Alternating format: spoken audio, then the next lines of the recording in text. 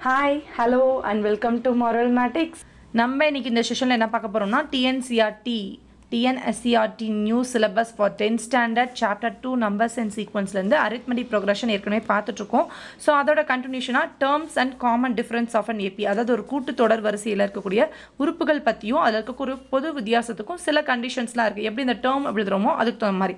So முன்னாடியே சொன்னேன் நான் அரித்மெட்டிக் ப்ரோக்ரஷனா என்னன்னு சொல்லி சொன்னேன்னா ஏ டி அப்படிங்கிற ரெண்டு நம்பரை வந்து நம்ம ரியல் நம்பர்ஸ்க்குள்ளே நம்ம எடுத்துக்கிட்டோம் அப்படின்னா a a plus d a plus two d a plus த்ரீடின்னு போச்சு அப்படின்னா இந்த வடிவத்தில் ஒரு சீக்வன்ஸ் ஒரு தொடர் வரிசை அமைஞ்சுது அப்படின்னா அந்த தொடர் வரிசையை நம்ம என்னன்னு சொல்லுவோம் அப்படின்னா கூட்டு தொடர் வரிசை அப்படின்னு சொல்லி சொல்லுவோம்னு சொல்லியிருக்கேன் கரெக்டாக ஸோ இந்த கூட்டு தொடர் வரிசையில் இந்த மாதிரி டேர்ம்ஸ்க்கெல்லாம் ஒன்று ஒன்றுக்கும் ஒரு இதுக்குன்னு வச்சுக்கோங்களேன். ஸோ இந்த டேர்ம்ஸ் அப்படிங்கிறது நம்ம எப்படி சொல்லுவோம் அப்படின்னா t one t two t three அப்படின்னு சொல்லி சொல்லுவோம். ஸோ இதை தான் நான் இப்போ இங்கே எழுத போகிறேன் எப்படி எழுதுறேன்னு பாருங்கள் so t one term one term one என்னது? முதல் உறுப்பு ஏ கரெக்டாக ஸோ டேர்ம் ஒன்ங்கிறது ஏ இப்போ டேர்ம் டூங்கிறத நம்ம எப்படி எழுதலாம்னா ஏ ப்ளஸ் டி கரெக்டாக இந்த ஏ ப்ளஸ் டியை நான் இன்னொரு விதமாக எழுதுகிறேன் எப்படி எழுதுகிறேன்னா a plus one minus one into d அதாவது என்ன சொல்ல வரேன்னா ஏ ப்ளஸ் ஒன் மைனஸ் ஒன்னா ஒன் மைனஸ் ஒன் ஜீரோ அப்போ இந்த டேர்மே ஜீரோ ஆகிடுச்சு அப்படின்னா நமக்கு என்ன வந்துடும் ஏங்கிற டேர்ம் வந்துருமா? கரெக்டாக ஸோ டி ஒன் முதல் உறுப்பு வந்துடும் ரெண்டாவது உறுப்புலேருந்து பொது வித்தியாசத்தை கழிச்சோன்னா முதல் உறுப்பு. அதாவது உங்களுக்கு எடுத்துக்காட்டில் நான் சொன்னேன் முன்னாடி இந்த மேட் ஸ்டிக் வச்சு அஞ் மூணு அஞ்சு ஏழு ஒன்பது இப்படி போயிட்டுருக்கும்போது இப்போ அஞ்சுன்னு ஒரு நம்பர் எடுத்துட்டோன்னா அஞ்சுலேருந்து பொது வித்தியாசத்தை கழிச்சிட்டோம் அப்படின்னா பொது வித்தியாசம் என்ன சொன்னேன்? ப்ளஸ் ரெண்டு. ஒவ்வொரு டைமும் ரெண்டு ரெண்டு மேட் ஸ்டிக்கை நம்ம ஆட் பண்ணுறோன்னு சொன்னல ஸோ அந்த பொது வித்தியாசத்தை கழிச்சிட்டோன்னா நமக்கு என்ன கிடைக்கும்? முதல் உறுப்பானது கிடைக்கும். கரெக்டாக முதல் உறுப்பு. ஓகேவா இப்போ நான் ஏழுங்கிற நம்பர் எடுக்கிறேன். ஸோ இந்த ஏழுலேருந்து ரெண்டு பொது வித்தியாசத்தை கழிச்சோம் அப்படின்னா அஞ்சுங்கிற ரெண்டாவது உறுப்பு கிடைக்கும். செகண்ட் டேர்ம் ரெண்டாவது உறுப்பு கிடைக்கும். ஸோ இதை தான் இங்கே சொல்ல வரேன். ஸோ இங்கே எப்படி நம்ம மைனஸ் பண்ணி முன்னாடி முன்னாடி போகுதோ அதே தான் இங்கேயும். ஸோ ஏ ப்ளஸ் டிங்கிறத இது சொல்லுவோம். இதுக்கு எப்படி நம்ம எழுதலாம்னா ஒன் மைனஸ் பண்ணும்போது இது எதுக்கு போயிடுது? ஃபஸ்ட் டேர்மை டினோட் பண்ணுது. கரெக்டாக மைனஸ் பண்ணும்போது. அதே மாதிரி இப்போ டி த்ரீ ஃபைன் பண்ணுறேன் டி த்ரீனா நம்ம என்ன எழுதுவோம்? ஏ ப்ளஸ் டூ டி அப்படின்னு எழுதுவோம். ஸோ டூ டின்னு எழுதும்போது ஏ ப்ளஸ் இந்த டூ எப்படி எழுதுவோம்னா? டூ மைனஸ் ஒன் டி அப்படின்னு சொல்லிட்டு எழுதுவோம். ஸோ இது வந்து டூ மைனஸ் ஒன்னுங்கும்போது ஒன் டி அப்போ ஒன் டி அப்படிங்கும்போது ஏ ப்ளஸ் டி அப்படிங்கிற செகண்ட் டேர்மை டினோட் பண்ணும். ஓகேவா அதே மாதிரி இப்போ டி ஃபோர் அதே மாதிரி எழுதலாம். ஸோ டி ஃபோர் எழுதணும்னா ஏ ப்ளஸ் த்ரீ டி அப்படின்னு so which implies a plus என்ன எழுதுவோம்? Three minus one into d அப்போ த்ரீ மைனஸ் ஒன்னும்போது டூ டி அப்போ டூ டிங்கிறது தேர்ட் டேர்ம் டி த்ரீயை டினோட் பண்ணும். தட் மீன்ஸ் இது டி ஒன்னை இது டி டூவை இது டி த்ரீ இதை டினோட் பண்ணும். ஸோ ஒவ்வொரு உறுப்புமே அதுக்கு முன்னாடி இல்லை டிஃப்ரென்ஸை கொண்டு வந்து டிஃப்ரென்ஸை இங்கே ஆட் பண்ணுவோம். ஸோ நம்ம அந்த டேர்ம் எழுதும்போது இப்படியே நம்ம போயிட்டே இருந்தால் டிஎன்னோட மதிப்பை நம்ம எப்படி எழுதுவோம்னா ஏ ப்ளஸ் அதே தான் ஒன் டூ த்ரீங்கிறது என்னன்னு வச்சுக்கணும். டிஎன் nth டேர்ம் தானே கண்டுபிடிக்கிறோம். என்னாவது உறுப்பு. ஓகேவா? ஸோ என்னாவது உறுப்பு எப்படி கண்டுபிடிப்போம் அப்படின்னா ஏ ப்ளஸ் இந்த ஒன் டூ த்ரீ போகிற இடத்துல என்னன்னு கொடுக்கணும் ஸோ என் மைனஸ் ஒன் எல்லாத்துலேயுமே ஒரு மைனஸ் கழிச்சோம்னா நமக்கு முன்னாடி உறுப்பு கிடைக்கும். ஸோ இதுதான் nth டேர்ம் கண்டுபிடிக்கிறதுக்கான ஃபார்முலா முக்கியமான ஃபார்முலாடா கண்டிப்பாக எல்லா ப்ராப்ளம்லையும் இதை யூஸ் பண்ணுவோம் so t n equal to a plus n minus one into d அப்படின்னு சொல்லிட்டு இதை நல்லா ஞாபகம் வச்சுக்கோங்க ஓகேவா ஒன்றும் இல்லை. இப்போ டி ஃபைவ் வேணும்னா என்ன பண்ணுவோம் இப்போ எனக்கு டி ஃபைவ் வேணும் அப்படின்னா இல்லை அப்ளை பண்ணிட்டு வேணாம். ஏ ப்ளஸ் ஃபோர் டி ஏன்னா இப்போ பாருங்கள் இல்லை அப்ளை பண்ணுங்கள் a plus five minus one four இப்போ எனக்கு டி லெவன் வேணும்னா ஏ ப்ளஸ் டென் டி சின்ன ட்ரிக் தான் உங்களுக்கு போட போட பழகிறோம் இப்போ டி லெவன்னா இங்கே டென் டி இப்போ இங்கே ஃபிஃப்டீன்னா இங்கே ஃபோர்டீன் டி இங்கே இப்போ ஹண்ட்ரட்னா இருக்கட்டும் நைன்டி நைன் டி எவ்வளோ பெரிய நம்பராக இருக்கட்டும் எவ்வளோ சின்ன நம்பராக இருக்கட்டும் ஜஸ்ட் ஒரு நம்பர் கம்மியாக அந்த டிஃப்ரென்ஸை போட்டுட்டோம் அப்படின்னா நமக்கு அந்த வேல்யூ கிடச்சிரும்.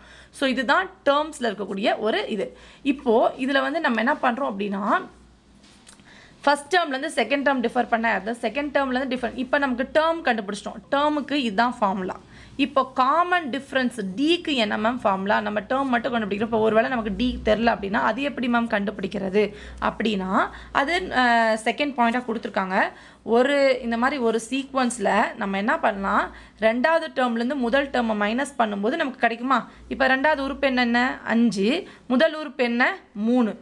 மூணை மைனஸ் பண்ணால் நமக்கு பொது வித்தியாசம் ரெண்டு அப்படின்னு சொல்லிட்டு கிடைக்குமா? இப்போ ஒம்போதுலேருந்து இது வந்து நாலாவது உறுப்பு. டி ஃபோர் டி த்ரீயோட வேல்யூ என்ன? செவன் அப்போது டி ஃபோருங்கிறது ஒன்பது மைனஸ் டி செவனோட வேல்யூ என்ன? டி த்ரீயோட வேல்யூ என்ன? செவன் ஒன்பதில் ஏழு போச்சுன்னா ரெண்டு. நீ எந்த டேர்ம் வேணால் அந்த சீக்வன்ஸில் யூஸ் பண்ணிக்கலாம். அந்த டேர்மை எடுத்துகிட்டு அதுக்கு முன்னாடி டேர்மை நீ மைனஸ் பண்ண அப்படின்னா உனக்கு என்ன கிடைக்கும்? என்ன வித்தியாசமோ அது கிடைக்கும்.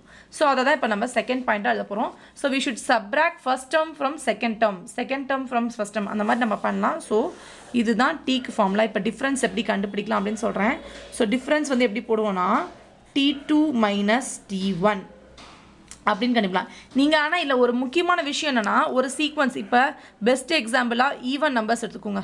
ஸோ ஈவன் நம்பர்ஸ் அப்படிங்கிறது இரட்டை எண்கள் அப்படிங்கிறது ஒரு மிக முக்கியமான ஒரு எடுத்துக்காட்டு கணக்கு. எதுக்கு சீக்வன்ஸ்க்கு அப்படி பார்த்தோம் அப்படின்னா என்ன வரும்? Two four six eight ten twelve fourteen போய்க்கிட்டே இருக்கும். இப்போ நான் இந்த டேர்ம் எடுக்கிறேன். இந்த டேர்ம் என்ன? இது one t one t two t three t four t five t six இது ஆறாவது உறுப்பு.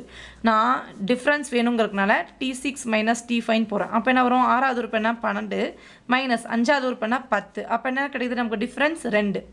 இல்லை நான் இந்த ரெண்டு உறுப்பு வச்சு கண்டுபிடிக்கிறேன். எனக்கு அந்த உறுப்பு வேணாம் அப்படின்னா இந்த ரெண்டு உறுப்பு என்ன? டி ஃபோர் மைனஸ் முன்னாடி உறுப்பு என்ன? டி த்ரீ அப்போது எயிட் மைனஸ் சிக்ஸோட மதிப்பு என்ன? டூ நீங்கள் எந்த உறுப்பை வேணால் எடுத்துக்கோங்க. அந்த உறுப்பை எடுத்துகிட்டு அதுக்கு முன்னாடி இருக்கக்கூடிய உறுப்பை நீங்கள் கழிச்சிங்க டிஃப்ரெண்ட் பண்ணீங்க பொது வித்தியாசப்படுத்துனீங்க அப்படின்னா டிஃப்ரென்ஸ் பண்ணீங்க மீன்ஸ் சப்ராக்ட் பண்ணீங்க அப்படின்னா உங்களுக்கு பொது வித்தியாசமானது கிடைக்கும்.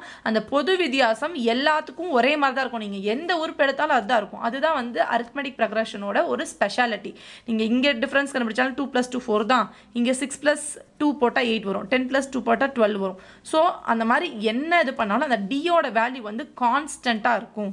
அப்போ இங்கே நீங்கள் என் டேர்மில் சொன்னீங்களே அது மாதிரி எனக்கு டிக்கும் சொல்லுங்கள் ஃபார்முலா இருந்தால் அப்படின்னா இப்போ இந்த மாதிரி நம்ம ஃபைன் பண்ணுறோம் இப்போ டி என்ன பண்ணலாம்? T three minus t two என்ன இப்போ டி டென் வேணுன்னா கூட t ten minus t nine முன்னாடி உறுப்பை மைனஸ் பண்ணுறது ஸோ எப்படி பண்ணாலும் நமக்கு டி வந்து சேம் ஆன்சர் தான் கிடைக்கும். ஸோ அப்போ டிக்கு என்ன ஃபார்முலா வரும் அப்படின்னா டி ஈக்குவல் டு டிஎன் நம்ம என்ன வேல்யூ கண்டுபிடிப்போமோ அது t n minus t n minus one அப்போ இங்கே பாருங்கள் பத்துன்னு எடுத்தால் இங்கே ஒன்பது. அப்போ எண்ணுக்கு பத்துன்னு கொடுத்தோம்னா என் மைனஸ் ஒன்னுங்கும்போது ஒன்பது. எண்ணுக்கு இருபதுன்னு கொடுத்தோம்னா t twenty minus t nineteen வரணும் அப்போ என்ன வரும்? இருபது மைனஸ் ஒன்று பத்தொன்பது. வந்துருச்சா? ஸோ இதுதான் வந்து டி கண்டுபிடிக்கிறதுக்கான ஃபார்முலா ஸோ இதெல்லாம் ஒன் மார்க் எம்சிக்யூலையும் கேட்கலாம். உங்களுக்கு தனியாகவும் கேட்கலாம். ஓகேவா ஸோ இது வந்து நீங்கள் நல்லா பார்த்துக்கோங்க. ஸோ ஜென்ரலாக பார்த்தோம் அப்படின்னா இந்த காமன் டிஃப்ரென்ஸ் இந்த டிங்கிறது என்னென்னு சொல்லுவோம். பொது வித்தியாசம் காமன் டிஃப்ரென்ஸ் சொல்லுவோம்.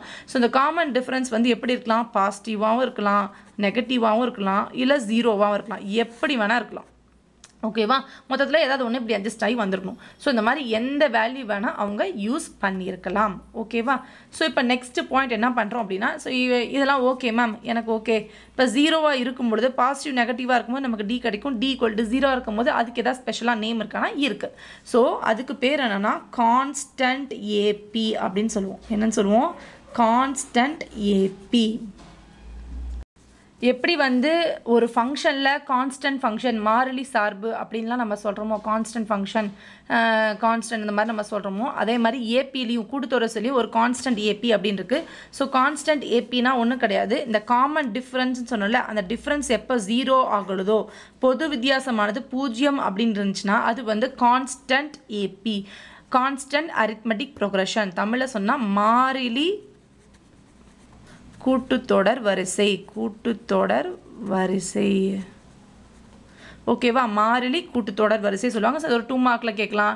இல்லை எம்சிக்யூவில் கூட உங்களை வந்து டிஃபைன் பண்ணுற மாதிரி கேட்கலாம். ஓகேவா ஸோ இதுதான் வந்து கான்ஸ்டன்ட் ஏபி அப்படின்னு சொல்லி சொல்லுவோம். ஸோ இதில் வந்து terms and common difference of ஏபின்னு சொல்லிட்டு இந்த ப்ரா இந்த இதில் பார்த்தோம். இதில் வந்து எந்த டேர்ம் எப்படி கண்டுபிடிக்கிறது? அதுக்கான ஃபார்முலா அதே மாதிரி வந்து காமன் டிஃப்ரென்ஸ் எப்படி கண்டுபிடிக்கிறது? அதுக்கான ஃபார்முலா அப்புறம் கான்ஸ்டன்ட் ஏபி இந்த மூணு பாயிண்ட்டும் நான் இந்த வீடியோவில் உங்களுக்கு நான் ஷேர் பண்ணியிருக்கேன். நெக்ஸ்ட் வீடியோவில் நம்ம என்ன பார்க்க போகிறோம்னா ஒரு குட்டி ஃபார்முலா அரித்மெட்டிக் ப்ரொக்ரெஷனில் ப்ராப்ளம்ஸில் ஓரியன்டாக வரக்கூடிய ஒரு இன்னும் ஒரு ரெண்டு ஃபார்முலான்னு சொல்ல முடியாது. ஜஸ்ட் அதுக்கு தேவையான ஒரு ரெண்டு பாயிண்ட்ஸ் பார்க்கலாம். ஸோ இதோட இந்த செஷனில் இருக்கக்கூடிய அரித்மெட்டிக் ப்ரோக்ரஷன் டேர்ம் வந்து முடிஞ்சிச்சு இன்ட்ரோ பாட்டு. ஸோ நெக்ஸ்ட் வீடியோவில் உங்களை நான் வந்து புதுசாக ஒரு ரெண்டு ஃபார்முலாவோட நான் பார்க்குறேன். அந்த ஃபார்முலாக்கு அப்புறம் உங்களுக்கு நான் வந்து டேரெக்டாக எக்ஸாம்பிள் எக்ஸசைஸ் ப்ராப்ளம் போயிடலாம். ஸோ கவலைப்பட வேணாம். So keep supporting Maral Matics academy we learn maths by doing maths thank you உங்களுக்கு உங்களுக்கு மார்வல் மேட்டிக்ஸ் மாட்டி அகாடமி உட்காந்து பிடிச்சிருந்துச்சுன்னா பிடிச்சிருக்கா லைக் ரைட் பண்ணுங்க ஷேர் பண்ணுங்க பண்ணாங்க சப்ஸ்கிரைப் பண்ணுங்க பண்ணுங்க பண்ணுங்க தேங்க்யூ தேங்க்யூ